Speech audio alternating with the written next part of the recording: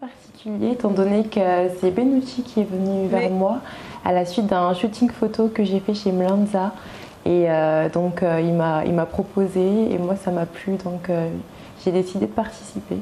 Le plus compliqué, je dirais que c'était mon manque de confiance en moi. Ça m'a vraiment joué beaucoup de mauvais tours.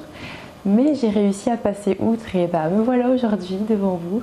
Je pense que vous savez déjà qu'à Mayotte, c'est un peu c'est un peu quelque chose d'un peu tabou. Donc au début c'était compliqué, mais finalement ils se sont dit bon, elle a envie d'y aller, ça a l'air de lui tenir à cœur et donc on a envie que notre fille soit heureuse. Donc on va la soutenir et l'accompagner. donc j'ai vraiment eu le soutien de mes parents depuis le début.